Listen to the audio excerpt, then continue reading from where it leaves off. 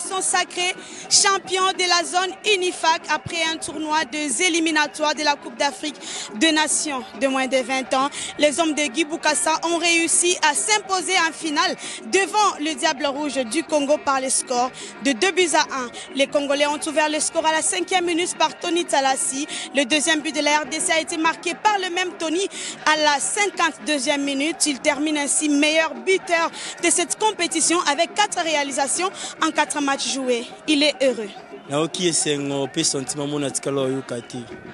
Donc tout ça c'est grâce à Dieu que l'homoni n'a un peu important la mise sur bateau. C'est grâce à Dieu.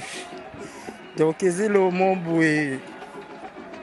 c'est le monde il y a facilité tout ça qui combien tout ça qui combien mais moi je suis là parmi les meilleurs gloire à toi Seigneur Jésus donc tout ça c'est grâce à Jésus c'est grâce à Dieu pour les capitaines de la RDC, Eugène Indumbo, ils ont joué amoindri, mais avec une confiance totale et surtout avec le soutien de tout un peuple.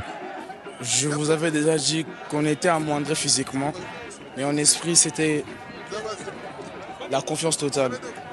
L'objectif a été atteint par la grâce de Dieu, de tout le staff, tous les joueurs, ainsi que par les soutiens extérieurs du peuple.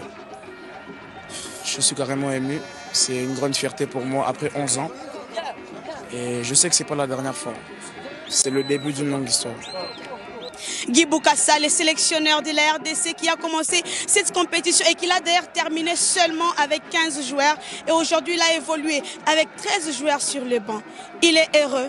On est très heureux, on est très heureux. Coup de chapeau à cette très belle génération. Tout ce que je peux dire, c'est que le Congo peut compter sur ces jeunes-là. Ils savent jouer avec le cœur, euh, ils savent comment on défend une nation. Aujourd'hui, durant la, causerie, on leur a rappelé tous les drames que nous connaissons au niveau du pays. On leur, même, on leur a même parlé de ce qui s'est passé ce matin avec le naufrage du bateau sur le lac Kivu. On leur a dit tout sauf la honte aujourd'hui. Et on ne pouvait pas perdre deux fois contre le même adversaire. Le Seigneur était vraiment de notre côté parce que ça a été très difficile. Mais les garçons, ils ont l'âme, ils savent défendre la nation. Et la nation peut être fière d'eux. Je suis très content de mes joueurs.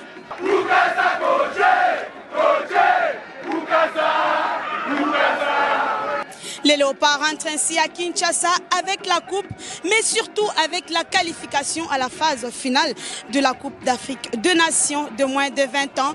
Ils vont jouer ainsi la deuxième Coupe d'Afrique de Nations de moins de 20 ans de leur histoire, après seul de 2013. Depuis le stade Massamba Deba de Brazzaville, Vanessa Kongolo, Paul Badianyama, Radio Capi.